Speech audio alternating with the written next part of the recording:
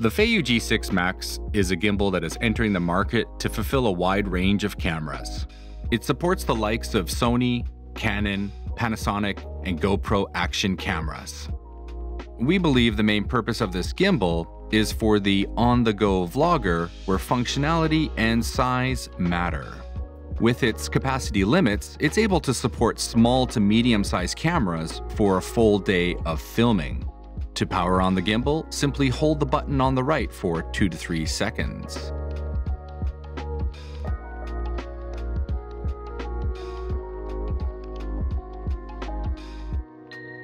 The knob is multifunctional. It controls the three-axis rotations along with zoom focus and even parameters of your camera's ISO, white balance, and exposure values. Please refer to Feiyutech's website for cross-compatibility. There are nine shooting modes, but the three that I use the most are the single, double, and triple taps. If you want selfie mode, just triple tap the trigger.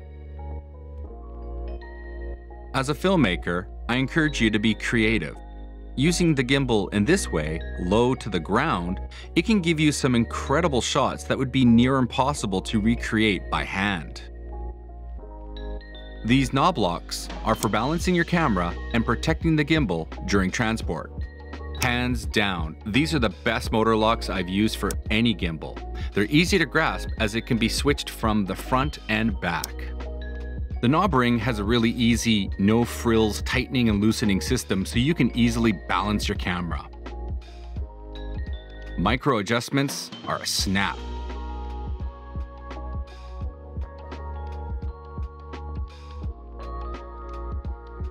Removing the camera and attaching is very simple when using the supplied plate. Once the plate has been added, snap it back into the base plate and tighten.